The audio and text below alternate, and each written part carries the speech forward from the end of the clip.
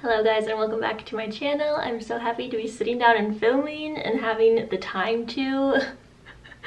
Things have been a little crazy, but I always feel like I say that. But this time, it, I mean, life is always crazy, isn't it? But just unexpected things, all good things, but just things that I wasn't planning to happen at all. Um, and so I just have not like I literally have not had the time, period, to sit down and film. I can talk a little bit about that while we get ready here um, and try some new products. But this is not what this video is really about. It's not supposed to be like, here's what's been happening, life update kind of thing. I just want to sit down and do some makeup. I wanted to film. So that's what we are going to be doing today is trying some products. I think I have like almost a full face, not quite, but just new products that have been, literally been sitting here. I have like this little, used to be a candle, but I've been just putting like accumulating things, new things to me um, that I've been wanting to try for videos and stuff. So I've had some of these things for over like a month maybe even longer that I've just been waiting to sit down and film and try with you guys. So that's what we're gonna do today. But let's get into some makeup. To try. One of the things that I've had for over a month that I've just have been waiting to try with you is the Tarte Maracuja Juicy Glow Foundation. And I got this one in Fair Neutral. I was talking in my past videos that like I am having a little bit more trouble figuring out my um, shade lately and I've just been I'm like I think I'm the palest I've ever been in my entire life I didn't really get out the summer at all I didn't even get like a good tan. So with no tan, then I just get, kept getting lighter and lighter and lighter as it got colder out. So I feel like Tarte, usually I'm like in the light category, but I went down to fair because I felt like every single thing that I had was literally too dark for me and I had like the line of demarcation. I just wanted another like juicy glowy face product base and I also want to try this one because it's a, it's supposed to be like medium coverage. So I wanted to do a little bit more coverage usually I do like such light coverage that sometimes sometimes on certain days if I'm wanting more coverage it's just like I just want something else to like grab. So we will see if this works. But this is supposed to be medium coverage like I said radiant finish blends like a second skin to blur the look of pores. Okay. Didn't know it was supposed to be like blurring too hyaluronic acid and superfruit complex for hydrated, brighter, and smoother looking skin. So I have moisturized skin. Just gonna put a little on my cheeks. Kind of like the squeeze tube. Makes it easy and quick. And then my Sephora Pro Foundation 56. Oh no. Is that a lot? I'm a little afraid that I'm gonna look like the Tin Man. Actually though, starting to look really nice as I'm blending in. I think I maybe just do, did a little bit too much that so now it's like taking a while for me to blend it. But I think if I just would have like started with less, then it just would have been a little quicker. You know what? What I just did that's really stupid too that I just noticed. I have this IT Cosmetics brush that I wanted to try. How did I just miss that? That's what happens when you take too long off of filming. You get all flustered and out of whack. But this brush, it's the number seven brush. There's actually two of them that they have, like double-sided like this, where it's like the foundation brush on one and the concealer brush on the other. The other one's all black, and this one's like black and silver. I don't really remember like which one exactly I saw, and which one was kind of like, I think it like went a little bit viral, like I saw a lot of people with this brush and talking about how good it is. So I like Ooh. First of all, the bristles are a little longer than I'm used to. See how it's like longer? So it's like, ooh, it feels like bouncy. But what I was gonna say was I don't know if this is the specific brush that people have been kind of talking about and that I've been seeing but it was one of the double-sided ones and I think it was this one with the like the number seven with black in the middle and then silver around but it's supposed to be really nice and I, oh my god, it's soft. I just wish I would have remembered to uh, use it like I was planning to. But just finish blending. Alright, so that foundation is really nice actually. Look at that glow. And it lays really well. It's not doing anything funky. I want something that like is easy to apply, you don't have to fool with. And just looks pretty over the whole skin. And that's what this one is. That's really nice. And I think that color is okay too. I have to keep using this obviously and let you know. But it's so soft and I feel like it's gonna be really nice but this is not new to me um, but i did like i haven't used this in a really long time so it feels kind of new but i thought it'd be fun to get the shape tape again but this is the creamy version i've had both the creamy and the regular version and actually I have the Radiant, like a mini in the Radiant because I bought this mini to see if I like the Radiant enough to get the full size of it and I just don't. Like it like separates or something or like, I don't know. So I like the creamy version best. So that's what I got. And this one I got light neutral, which I guess might be a little dark, but it seems to be okay. And I'm just gonna put some, my nose is still red. My chin was a little broken out, so I just have like some dark marks. This little side is supposed to be concealer. Ooh, that's nice for under the eyes. But I also think that I would just... I'm a like fast makeup person. I like more quick for like more detailed application. Like this. Yeah. Either side really. It's only 3.30 here. And the sun's going down. That's why my lighting is completely changing every minute. But it just gets dark. So that's like another reason why it's like so hard to find the time to film. It's by the time I'm done with work, it's literally already dark. And this is actually a thing that I, uh oh We're just gonna have to deal with the light changing a little bit see again if i wait for perfection i'm not gonna ever film. So this is one thing that i tried to wait on to try but i was like literally all like i used up my ilia powder completely. Was like i gotta gotta use this i need powder so um so i've already tried this a couple times but it's the laura mercier translucent powder and but it's the ultra blur one so the um, little bit of newer edition um, and this one I like because it's talc free but I've been really liking it so far. I mean I feel like it's pretty dang similar to the regular translucent and I do feel like it's pretty blurring get out of the sun. So I'm just gonna like do under the eyes and basically where I put the put the concealer. But I am actually really loving this foundation and the way that the shine is not too crazy and it's kind of still coming through the powder. Yeah, it's like the perfect amount of glow. And I like the combination of the foundation with the concealer. And I don't know if it's because they're just by the same brand, but they just look really, really pretty together. I probably should have waited on powder because I'm going to do some cream products, but I basically just did it like under my eyes and down my T-zone, so not really on my cheeks. Plus like I've used creams over powders before and I've literally never had an issue of it looking bad. I know like you're usually do all your creams first, liquids first, and then powders, but I don't know, never really had an issue with it.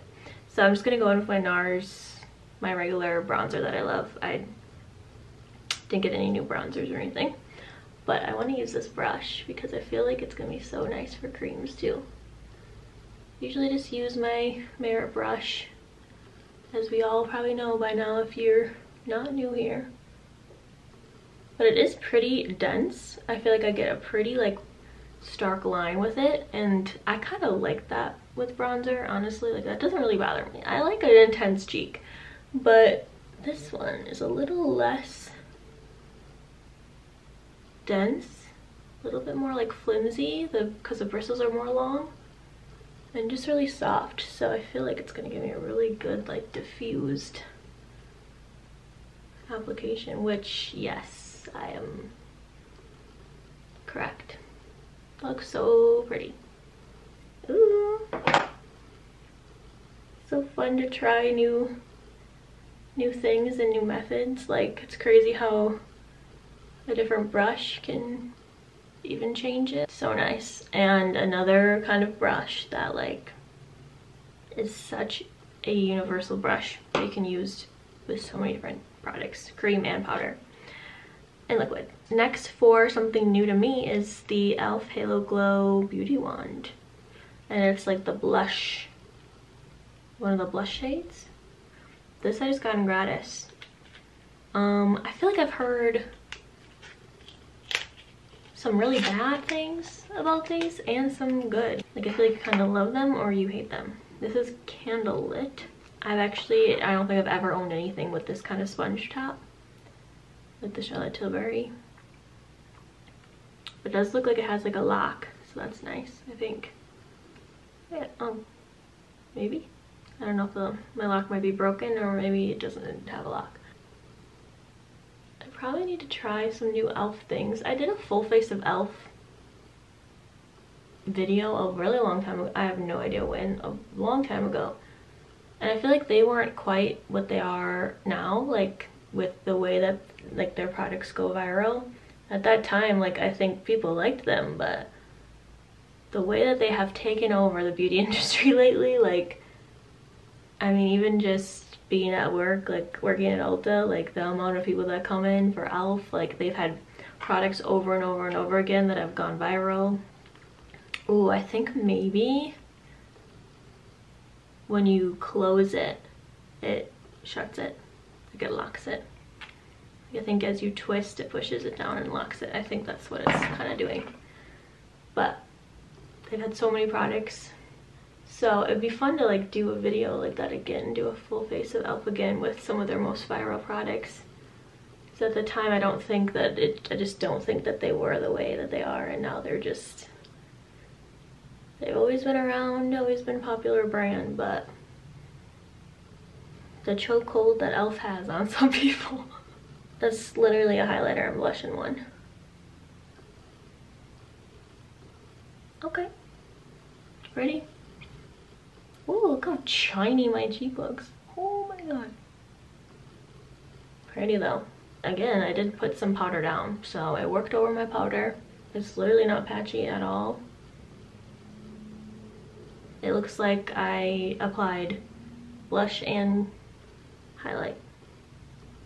No complaints, but that's actually a really pretty color, a color that I think I would definitely pick out myself. I'm gonna take a little bit of my Ilia bronzer and just put it on my lids. I always like to have a little, little bronzer base. And also while I'm here, I'm just gonna, I don't have any new brow gel or anything. This one actually am like, I think running sort of low on, or I should be at least. It's been a while, it's the Merit one. But I'm just gonna do that quick. And then I have the Anastasia liquid liner to try. One's just in black. I don't know if there's other shades. I don't think there is. But I was actually kind of excited about this because it's in this kind of packaging where like the top's bigger than the bottom and it has like a actual, I think it's actually like a brush. Actually, I think it's just a foam applicator, foam tip. Is that what it's called? But um, this reminds me of when I was, I think high school, I used to, the sun, I'm just gonna go over here. The really Sephora um, collection eyeliners and I have no idea if they have anymore. I don't think so. I haven't seen them in forever. But it was like this design, but they were like super sparkly and I used to always get the one where the top was green. A golden green like sparkly eyeliner. It was like kind of like a signature thing for me for a while. Like I would wear that almost every day. But it was always so easy to apply because of it being in this form. So I'm hoping that this is like super easy for me to apply. Because for some reason I had no problem applying that liquid liner like basically every single day. Kind of relocated, that works. Um, but basically, yeah, I'm just excited to try this and it just reminded me of that. I should probably find that, like try to find that again. I wonder if that exists still. Maybe a fun blast from the past. I feel like it'd be really fun to do a video of like all the things that I remember wearing. Like I remember like the first like prestige nice foundation I wore. I don't know if I can talk and do this at the same time. Was a Smashbox, I think it was like called like Photo Finish, which doesn't exist anymore I don't think. Um, it'd be fun to like try that. That sparkly eyeliner like just thinking about the things that I used to always wear when I first kind of started getting into makeup. Be fun to do a video using those things, but I don't think most of those things exist anymore.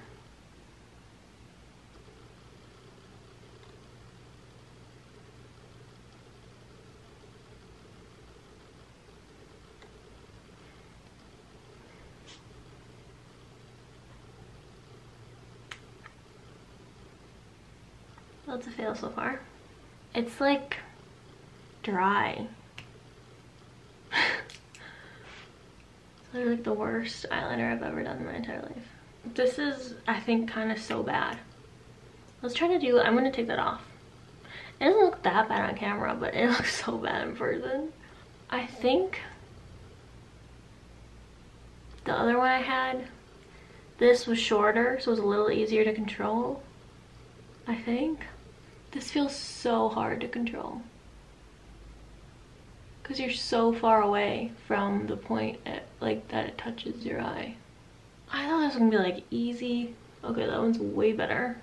Okay, that one worked. But I wouldn't say it was easy. I'm annoyed that I had to take off the other one. It's actually pretty. I'm gonna leave it. I really want to make it a little bit so what happened the other day too. I did an eyeliner and it wasn't nearly this bad at all. But I just kept trying to make it like more perfect and more perfect. And it just kept getting thicker and thicker. And it was fine. It was just way thicker than I intended. But this, now I'm annoyed that I have to take that off. I got it all over my hand too. Okay, so I took it off and had to redo concealer because obviously wiped away all that. Um and redid the wing and like I am not even gonna touch it anymore. Like they're not equal whatsoever but I'm like so frustrated with trying to use this that like I'm not even gonna keep going. Like thank god I don't have to go anywhere tonight. I mean they're they're not that bad. Like it's not like it's like horrendous but I'm just like not about to take the time to do that. This is probably gonna go in the garbage, honestly. I'm glad I got it free because that's bad. I did not like that at all. And I had such high hopes too. I was like, this could actually be so much easier than just like a pen liner because I used to like the other one. Nope, way harder. You're way further away. It's so much harder to control. It's kind of like a drier formula. Like I feel like it doesn't just like nicely like swoop on. It kind of like, I don't know, just not good. And I have it all over my hands too because it's like kind of like thick and goopy and it gets under eyelashes and then like, I don't even know how this happened. But anyway, it's just bad. It's just a no for me. It's just no. I had high hopes and now it just made me frustrated. but next product I have to try is the FanFest mascara from Benefit. I feel like I haven't heard a ton about this. I've seen a lot of marketing for it. I've seen a lot of like hype. But I don't know if I've seen anyone really talk about it. But I like like the curve of the wand. Kind of has like a little... I think you can, you know, use it either way, obviously. Like this, or flip it and use the back side. I'm to use this a couple times before I make my final decisions about this mascara because my eyelashes are goopy from that eyeliner. So if they look super like stuck together and goopy, it's probably because of the eyeliner. Just gonna, we're just gonna have, we're just gonna lay back and do our makeup, you know? That's how the cool girls do it. I literally can't see what I'm doing this far away from my mirror. Like right here, big old clump from the eyeliner.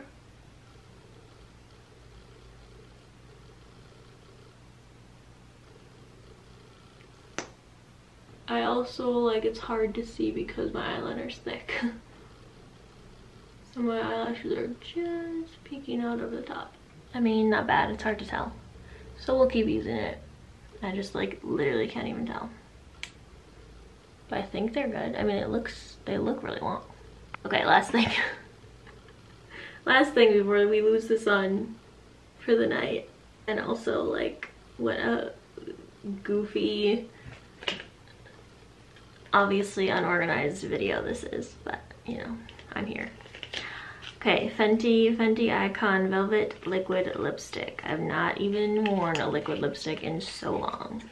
I am not a huge lipstick wearer. I like lick my lips, bite my lips, all, all of that way too much. I feel like to wear something as like permanent as a liquid lipstick, but we're gonna try it. This is in the MVP. So literally bright red.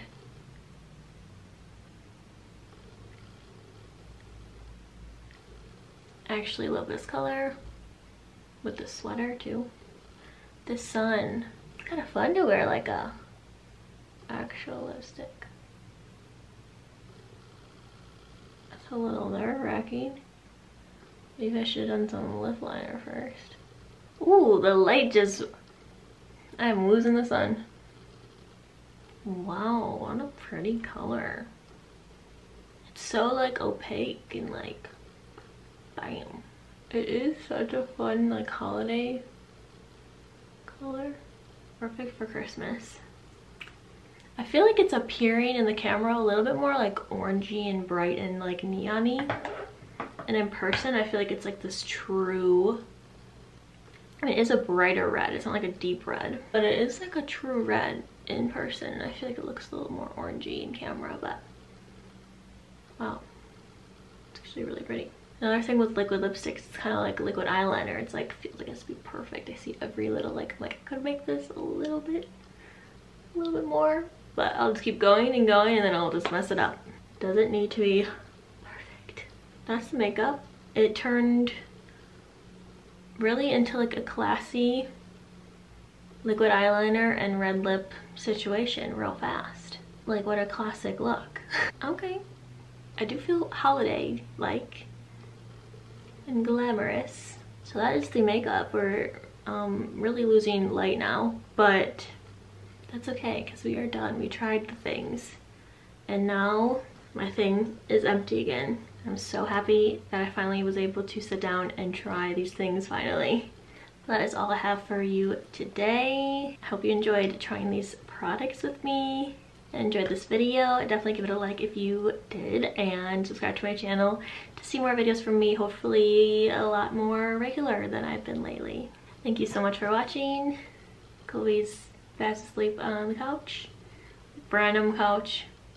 That's not staying. Another thing that's just just moving furniture around in this apartment. But i will see you next time. Bye